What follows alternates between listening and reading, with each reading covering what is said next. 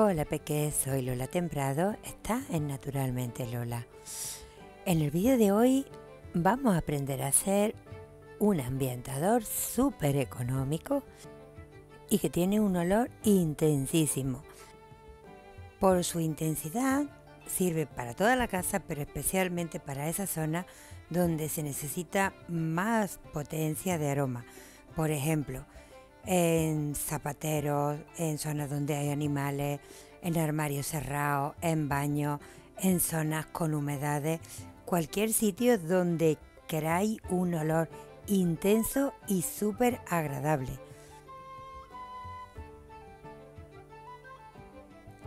Por menos de un euro tenemos cinco ambientadores bastante grandes y que nos van a tener la casa perfumada un montón de tiempo.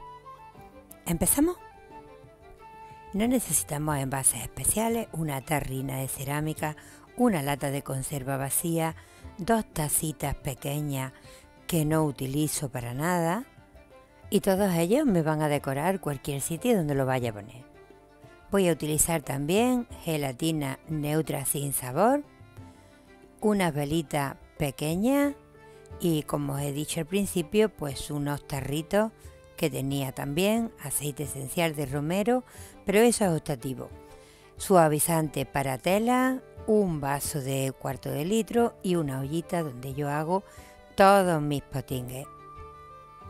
Pongo la olla a calentar y le voy a verter un vaso lleno de 250 centímetros cúbicos de suavizante para tejido. Podéis elegir el, el aroma que más os guste eh, y el color que más os agrade. Lleno un segundo vaso y en un recipiente voy a sacar más o menos la mitad del contenido.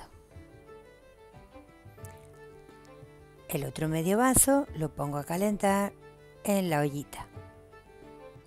Voy a añadir ahora la gelatina neutra. Pongo un papelillo y otro papelillo. Y voy a guardar un tercero para cuando estos dos estén diluidos. Ayudándome de un tenedor, lo voy a mover. Eh, la gelatina se disuelve siempre en líquido frío. En cualquier cosa que se vaya a gastar, tiene que ser en frío, en caliente no se disuelve y haría un montón de grumos. Añado ahora el tercer papelillo y veréis que ahora mismo empieza ya a hacerse muy espeso. Enseguida se hace una pasta como estáis viendo ahora. Mientras termina de hervir el suavizante, voy a colocar en medio de cada uno de los recipientes una velita. Y es importante que lleve carcasa metálica, porque si fuera solamente la vela sin carcasa, el calor del suavizante al verterlo derretiría la cera y eso no nos conviene.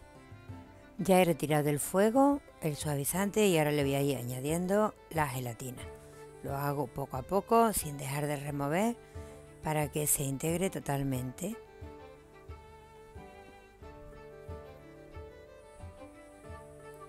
Con el calor enseguida se va a integrar y lo que tenemos que procurar es que no queden grumos ninguno. Yo siempre pongo una cuchara y un tenedor juntos porque el tenedor es la mejor manera de comprobar si hay algún grumito por ahí.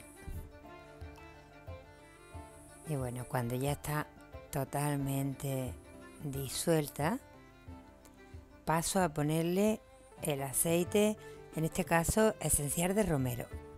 Me encanta utilizar el aceite de romero porque aumenta la claridad mental y combate el estrés, ayuda a levantar un poquito a personas deprimidas, reduce las tensiones, ayuda a mejorar la ansiedad, eh, sube el estado de ánimo y en definitiva mm, como que potencia el estar más, más ágil y más, más vital. Por eso eh, siempre me gusta utilizarlo en este tipo de, de ambientadores porque en definitiva eh, lo que hace es aspirarlo y esto ayuda un montón. Ahora con un casito empiezo, antes de que enfríe, a añadirlo y llenar los recipientes. La vela flota, por lo tanto, aunque el recipiente sea hondo y la vela sea chiquita, como flota, pues va a ir levantando y se va a quedar ahí flotando en, la parte superior. Procuramos centrarlo un poquito para que no nos quede cuando cuaje descentrado y así voy llenando a poquito a poquito. Hay que tener eh, cuidadito cuando el envase sea demasiado profundo, echarlo a poco para que no entre el contenido dentro de la vela. Ahí una vez que ya está un poquito más arriba ya, vamos echando más cantidad hasta llenar, completar la taza hasta arriba. Del mismo modo, vamos centrando la vela en todos los casos. Y así llenamos todos los recipientes. He llenado estos cuatro y ahora el que me sobra lo voy a pasar a este cacharrito de plástico que tiene su tapadera y estando tapado pues se va a mantener eh, siempre a punto. Cuando lo quiera utilizar pues simplemente destapo, eh, lo mantengo abierto y cuando no bien cerradito. En este, como es un poquillo más grande, pues voy a ponerle dos velitas. Y este es el resultado después de que se ha enfriado. Queda totalmente compacto, la vela no se mueve del sitio y es una maravilla. La verdad es que, como he dicho al principio, es ideal para ponerlo en cuartos de baño, en cocinas cuando hacemos comida que huele muy fuerte eh, para ponerlo en la entradita de la casa, para eh, sitios donde hay animales. En cualquier lugar donde lo pongamos nos va a dar un resultado extraordinario. Dura muchísimo, porque dura mucho, mucho. Poquito a poco se va secando. Aquí tengo uno que hice hace más de mes y medio y mirad cómo se queda. Se queda pues la gelatina totalmente seca porque eh, va saliendo todos los aromas y bueno, mm, la verdad es que no vais a arrepentir en absoluto por menos de un euro, como os he dicho. Vais a tener un montón de ambientador para un montón de tiempo y que es una maravilla. Aquí lo tengo ya encendido. ¿Y por qué lo enciendo? Pues porque el calor de la vela calienta el gel y hace que el ambientador se evapore, liberando ese aroma tan estupendo que vamos a tener en nuestro hogar. Espero que el vídeo haya gustado.